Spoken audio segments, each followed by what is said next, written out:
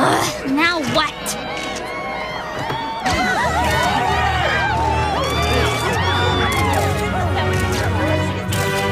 And the winner of the Best Writer, Director, Actor in an Awesome Play put on by a pony and her awesome best friends goes to...